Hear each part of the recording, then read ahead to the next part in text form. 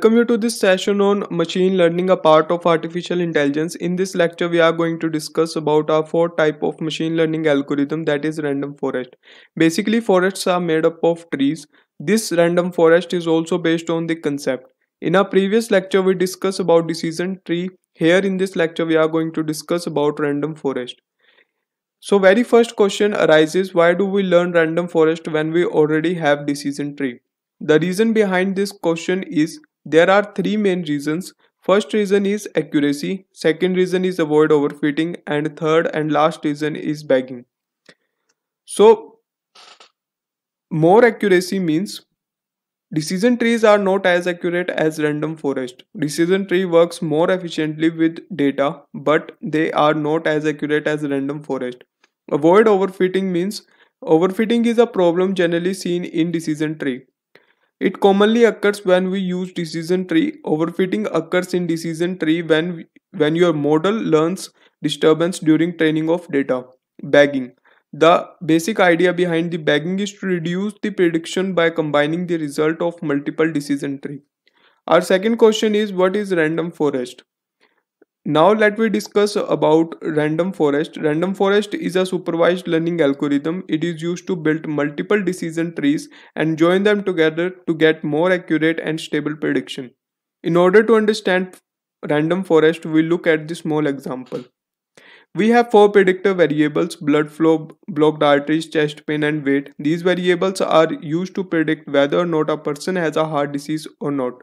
So we are going to create data we are going to create a random forest using this data as shown on the screen. So this is our data and we have to predict that a patient has a heart disease or not by using random forest.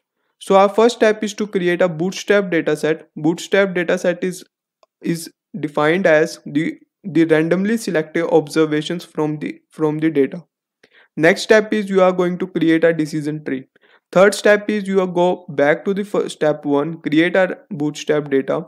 Again, create our decision tree. These predictions is performed hundreds and times until you have multiple decision trees that is no, known as random forest. Now that you have created a random forest, you will use this random forest to predict the outcomes. Our fifth type of supervised learning algorithm is the naive Bayes algorithm. Naive Bayes is a supervised classification algorithm. Naive Bayes algorithm used to find a probability. The main concept of the naive Bayes is that the predictor variables are independent of each other, meaning that the output depends on the independent variable that have nothing to do with each other. Let me discuss the logical equation behind the naive Bayes algorithm. So, like I mentioned, the principle behind the naive Bayes is the Bayes theorems, which is also known as Bayes rules. The Bayes theorem is used to calculate the conditional probability, which is nothing but the probability of an event occurring based on the information about the events in the past. This is the, a mathematical equation for the Bayes theorem. As shown on the screen, in left hand side is the probability of event A occurring given then event B.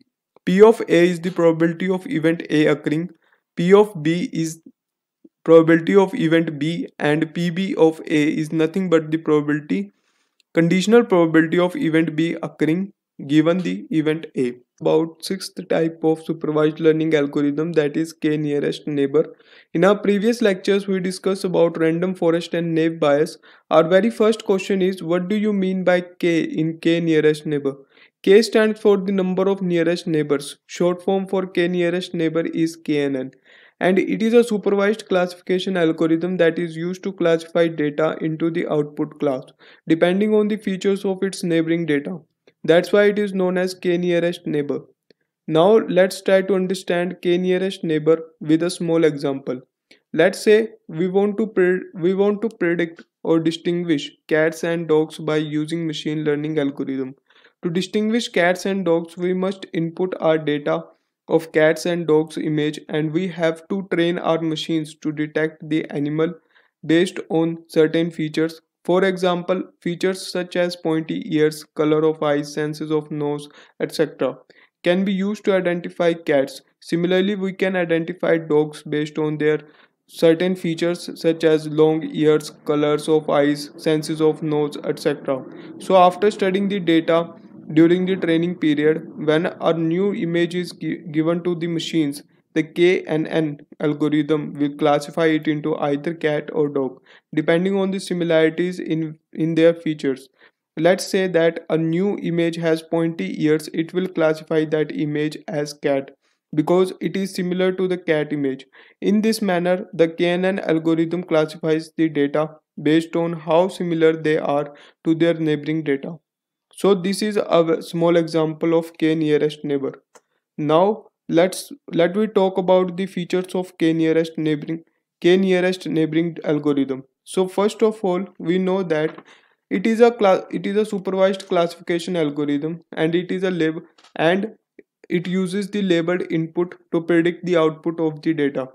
It is also one of the most simplest machine learning algorithm and it can be easily implemented for a set of problems. Another feature is that it is a non-parametric meaning that it does not take in any assumptions. Another feature is that it is a lazy algorithm. Lazy algorithm here means an algorithm that that memorize the training set instead of learning or, di- or discrimination functions from the training data. Our last type of supervised learning algorithm that is SVM. Now very first question arises what is SVM? SVM stands for the support vector machine. It is one of the most simple algorithm in classification algorithm. It is used to classify data. Support vector machine uses hyperplanes which acts like a boundaries to distinguish between the data as shown on the screen. Now SVM can be used to separate the data which is divided into segments and each segment contains only one kind of data. So a few features of SVM includes that it is a supervised learning algorithm, meaning that it's going to study a labeled training data.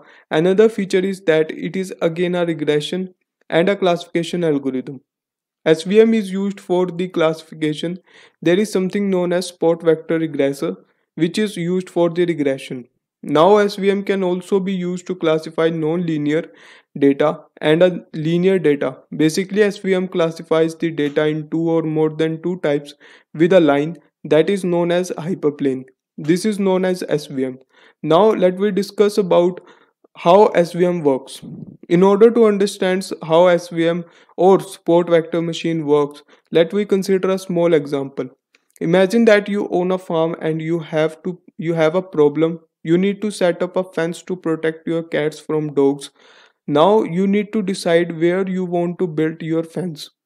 To solve these problems, we can use support vector machine so if i do that and if i try to draw a boundaries between the cats and the dogs the cats it look like as shown on the screen support vector machines draws a boundaries which is also called hyperplane between any two classes in order to separate them or classify them now question arises how do we know where to draw a hyperplane? The basic principle behind the SVM is to draw a hyperplane that best separates the two classes. In our case the two classes are cats and dog.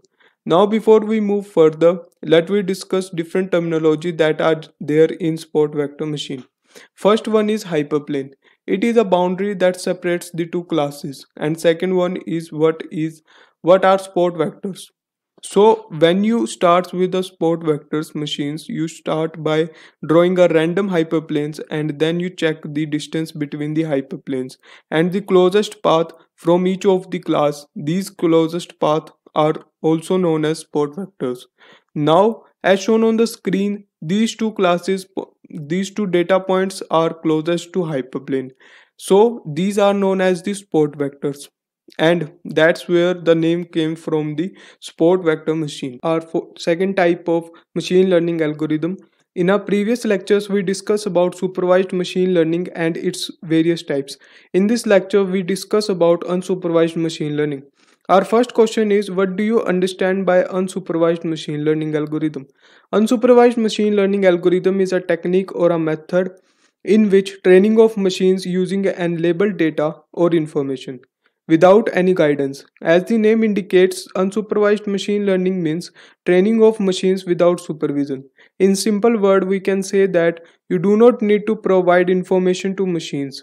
Machine will react on the basis of its own intelligence. This is known as unsupervised machine learning algorithm. Unsupervised machine learning algorithm, we solve clustering problem and the most important clustering problem is k-means clustering. Clustering here stands for groups. Now the main aim of the k-means clustering problem is to group similar elements or data into a cluster. This means let's say you are trying to cluster the population into four different groups such that each group has a people with a specific range of age. For example, group 1 has people between the age 18 and 22. Similarly, group 2 has people between the age 23 and 35 and so on on on let's say you are trying to cluster people into different groups based on their age so for such problems you can make use of k-means clustering algorithm. The clustering algorithm is used in many e-commerce websites like amazon flipkart ebay etc the products we automatically appears in front of us and marketing a specific product to a specific audience. This can only be implemented by k-means clustering algorithm. Our next question is how k-means clustering algorithms work. First of all, k in k-means clustering algorithm is the number of clusters. For example, let's say I give you a data containing 40 peoples and you want to cluster them cluster their peoples into four clusters that means your k will be equal to 4 now let's discuss how k-means clustering algorithm works Step 1 this this clustering problem follows some steps. There are four different steps on the basis of their algorithm. Step 1 pick up the number of clusters then pick a centroid calculate the distance from object to centroid group the data based on their minimum distance and that's how k-means algorithm work as shown on the screen. Third type of machine learning. In our previous lectures we discussed about supervised and unsupervised learning algorithm. Now we are going to discuss about reinforcement learning algorithm. This algorithm is different from our previous algorithm. It can be defined as an agent is put in an unknown environment and agent learn to behave in this environment by doing some actions and observing the rewards which is get from those actions. Real life example of, re of reinforcement learning is when we go on some random place. After some time we learn how to live on that place.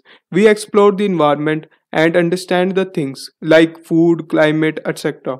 In this example, we are the agents and we are doing some actions to live on the place. This is exactly known as reinforcement learning is.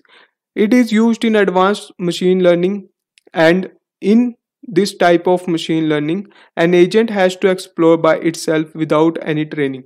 This learning is used in applications such as self-driving cars. Now let's talk about some terminologies and some definitions of reinforcement learning.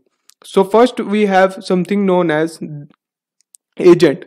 An agent is the reinforcement learning algorithm that learns from trials and errors. An agent is the one that take actions. Environment. An environment is basically the world through which the agent moves. Actions. All the possible steps that an agent can take is considered an action. State. Current condition reward by the environment is known as state. Reward. Reward is an instant return from the environment. The aim of the reinforcement learning is about the maximization that an agent can get. Now, one of the most important concept in reinforcement learning is exploration and exploitation trade-off. Now, exploration like the name suggests, it is about the exploring and capturing more information about the environment. On the other hand, exploitation's trade-off is defined as using the already known exploited information to heighten your reward. There are two different types of reinforcement learning. First one is Markov's decision process algorithm and second is Q-learning algorithm. Our very first question arises what is deep learning? One line answer for this question is it learns from the experience. Now, our next question is why we use deep learning. Whenever there is a high dimensionality data or whenever the data is really large, it has a lot of features and a lot of predictor variables, we use deep learning. Our next question is what is the difference between deep learning and machine learning? This concept can easily understand by a small example. Suppose we want to make a systems that can recognize the faces of different peoples in an image. Basically, we are creating a system that can identify the faces of different people in an image. If we solve this problem by using the different machine learning algorithm, we will have to define facial features like eyes, nose, ears, etc.